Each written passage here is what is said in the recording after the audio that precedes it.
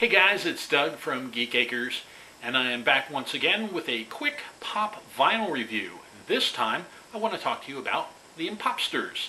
What are the Impopsters? Well, if you're a Batman fan, you probably know. If you're not, you're going to find out.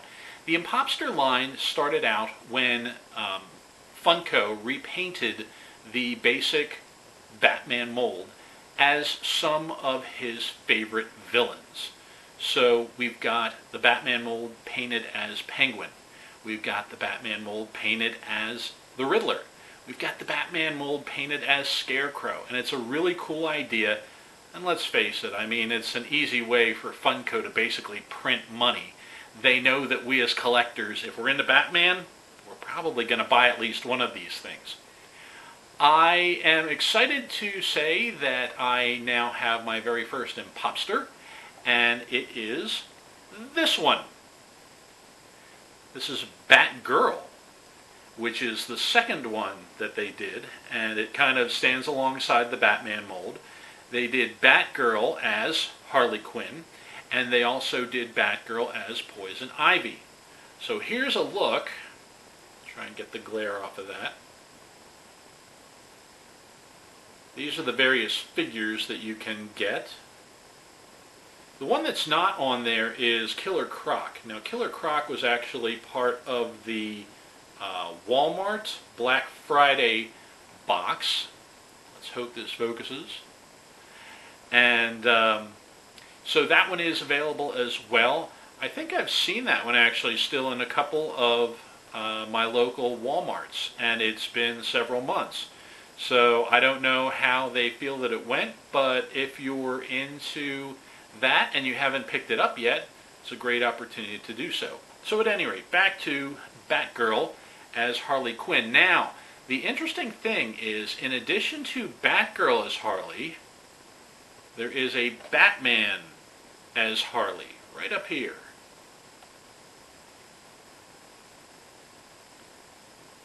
And I don't get that one, to be perfectly honest with you. But uh, I'm sure there are folks who are excited about it. By the way, there's the top. There's the front. And there's the other side. Now you know I'm an open box collector, so let's tear into this. Well, not tear into it. I do keep the boxes, but uh, I do like my figures out and about where I can see them because honestly, I feel that if they're in the box, you can't see all the really cool angles, all the hard work that an artist went into to create these things. So here is Batgirl as Harley, or is it Harley as Batgirl? I'm not entirely sure. Some really nice detail on this. We've got the utility belt.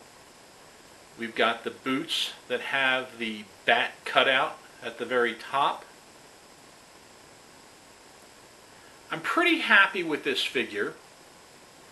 The paint job is relatively crisp. There is a white spot down here along the edge of the cape, but it's something that I can live with. There's also a little bit of paint bleed along the face where the red and black meet the white, but again, something I can live with.